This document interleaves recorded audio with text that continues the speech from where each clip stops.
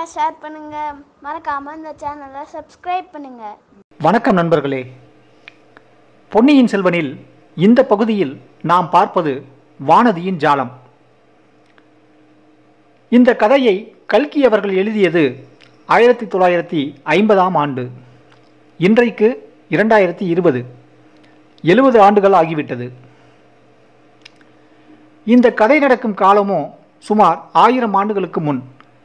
நமக்கு என்ன சந்தேகம்னா ஆயிரம் வருஷத்துக்கு முன்னாடி கதை நடக்கிற காலம் என்றாலும் அதில் வருகிற பெண்களின் கேரக்டர்கள் இன்றைக்கு நம் தொலைக்காட்சி சீரியல்களில் வருகிற காட்சிகள் மாதிரியே இருப்பதுதான் ஆச்சரியம்.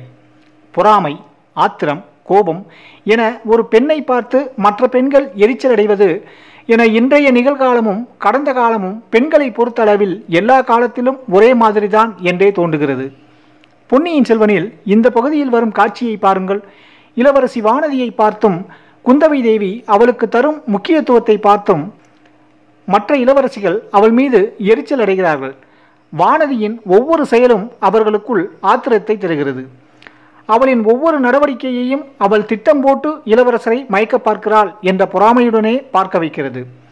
இன்னும் கூட ஒருத்தி ஒருபடி மேலே போய் இளவரசர் வானதியை கல்யாணம் செய்தால் அவளை விஷம் வைத்து கொண்டு விடுவேன் என்கிறாள். இப்படி ஒவ்வொரு காட்சிகளையும் பார்க்கும்போது நமக்கு தமிழ் தொலைக்காட்சிகளின் சீரியல்கள் ஞாபகம் வரத்தானே செய்யும்? இந்த கதையில் வரும் கேரக்டர்களின் பெயர்கள் மிக இனிமையானது. வாரிணி தாரகை நிரவதி செந்திரு மந்தாகினி என அழகு தமிழில் அமைத்திருக்கிறார் கல்கி. வாருங்கள் இத்தனை பெண்கள் பொறாமைப்படும்படி அந்த வானதி அப்படி என்னதான் ஜாலம் செய்கிறாள்? பார்ப்போம் பொன்னியின் செல்வன் பதினைந்தாம் பகுதி. இளைய பிராட்டி குந்தவை தேவியும் கொடும்பாளூர் இளவரசி வானதியும் ரதத்தில் ஏறி குழந்தை நகரை நோக்கி சென்றார்கள் அல்லவா? அதன் பிறகு படகில் இருந்த பெண்கள் என்ன பேசினார்கள் என்ன செய்தார்கள் என்பதை பார்ப்போம். அடியே தாரகை இந்த கொடும்பாளூர் காரிக்கு வந்த யோகத்தை பாரடி. அவள் பேரில் நம் இளைய பிராட்டிக்கு என்னடி இவ்வளவு ஆசை என்றால் ஒருத்தி. ஆசையுமில்லை ஒன்றுமில்லை வாரணி. நாலு மாதமாக அந்த பெண் ஒரு மாதிரி கிறுக்கு பிடித்தவள் போல் இருக்கிறாள். அடிக்கடி மயக்கம் போட்டு விழுந்து துளைக்கிறாள் தாய் தகப்பன் இல்லாத பெண்ணை நம்மை நம்பி ஒப்படைத்திருக்கிறார்களே என்று இளைய பிராட்டிக்கு கவலை. அதனால்தான் வானதிக்கு என்ன வந்து விட்டது என்று கேட்க சோதிடரிடம் அழைத்து போயிருக்கிறார். ஏதாவது பேய் பிசாசுகளின் சேட்டையாயிருக்கலாம் அல்லவா? அப்படி இருந்தால் மந்திரம் கிந்திரம் போட்டு ஓட வைக்க வேண்டும் அல்லவா? என்றாள் தாரகை. பேயும் இல்லை பிசாசும் இல்லையடி இவளை வந்து எந்த பிசாசு பிடிக்கப் போகிறது? இவளே நூறு பிசாசை அடித்து ஓட்டு விடுவாளே என்றாள் வாரிணி. வானதி மயக்கம் போட்டு விழுவது கூட பாசாங்குதானடி. இப்படியெல்லாம் செய்தால் மெதுவாக இளவரசரை தன் வலையில் போட்டு கொண்டு விடலாம் என்பது அவளுடைய எண்ணம் என்றால் இன்னொருத்தி. நிரவதி சொல்வதுதான் சரி அது மட்டுமா? அன்றைக்கு இளவரசர் புறப்படும் போது கையில் இருந்த தீபத்தட்டை கீழே போட்டாலே அது கூட தன்னை அவர் கவனிக்க வேண்டும் என்பதற்காக செய்த காரியம்தான். இரண்டு கையாலும் ஏந்தி கொண்டிருந்த தட்டு அப்படி தவறி விழுந்து விடுமா என்ன? அல்லது நம் இளவரசர் என்ன புலியா கரடியா? அவரை பார்த்து இவள் பயப்படுவதற்கு உடனே மூச்சை போட்டு விழுந்து விட்டதாக பாசாங்கு செய்தாலே அதற்கு எவ்வளவு கெட்டிக்காரத்தனம் வேண்டுமென்றால் நிரவதி அவள் செய்த ஜாலத்தை காட்டிலும் அந்த ஜாலத்தில் குந்தவை தேவியும் இளவரசரும் ஏமாந்து போனார்களே அதுதான் பெரிய வேடிக்கை என்றால் செந்திரு. பொய்யும் புரட்டும் ஜாலமும் மாய்மாலமும் செய்கின்றவர்களுக்குத்தான் இன்றைய காலம் என்றால் மந்தாகினி. யுத்தத்துக்கு புறப்பட்ட பிறகு இளவரசர் திரும்பி வந்து இந்த வானதியை பார்த்துவிட்டு போனாரே. இதைவிட என்னடி வேண்டும்? அவளுடைய மாயாஜாலம் எவ்வளவு தூரம் படித்து விட்டது பார்த்தாயா? என்றாள் வாரிணி.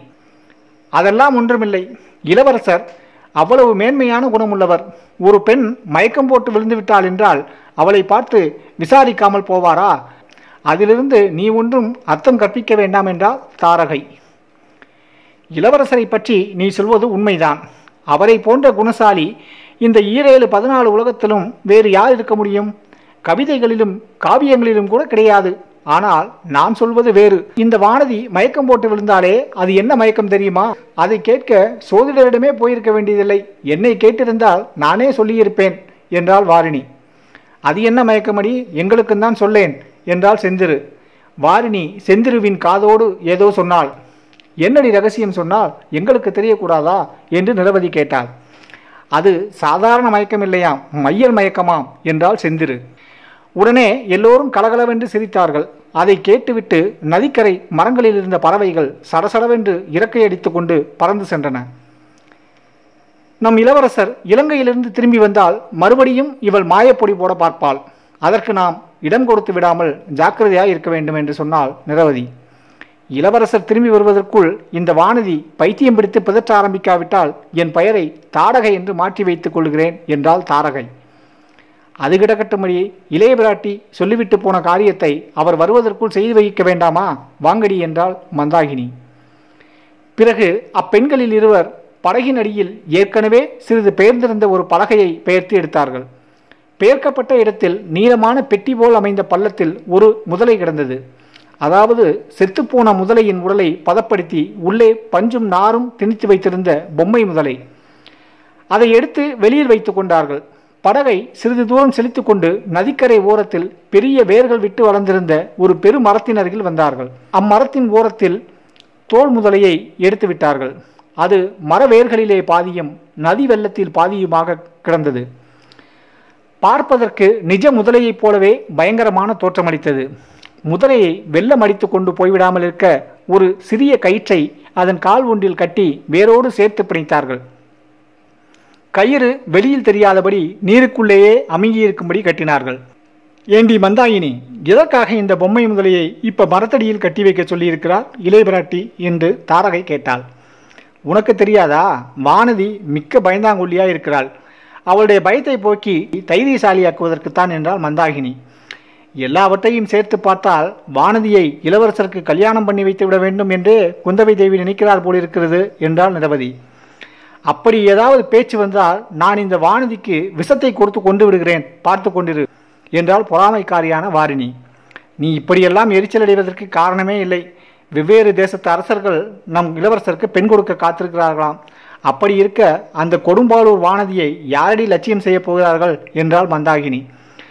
நீ சொல்லுகிறபடி அந்த அரசர்கள் காத்திருக்கலாமடி. ஆனால் நம் இளவரசருடைய விருப்பம் அல்லவா முக்கியம்? இளவரசர் நான் எப்போதாவது கல்யாணம் செய்து கொண்டால் தமிழகத்து பெண்ணைத்தான் மணந்து கொள்வேன் என்று சொல்லிக் கொண்டிருக்கிறாராம். உங்களுக்கெல்லாம் இது தெரியாதா என்றால் செந்திரு. அப்படியானால் மிகவும் நல்லதாய் போயிற்று. நாம் எல்லோரும் சேர்ந்து தனித்தனியே நம் கைவரிசையை காட்ட வேண்டியதுதானே. இந்த வானதியினால் முடிகிற காரியம் நம்மால் முடியாது போய்விடுமா?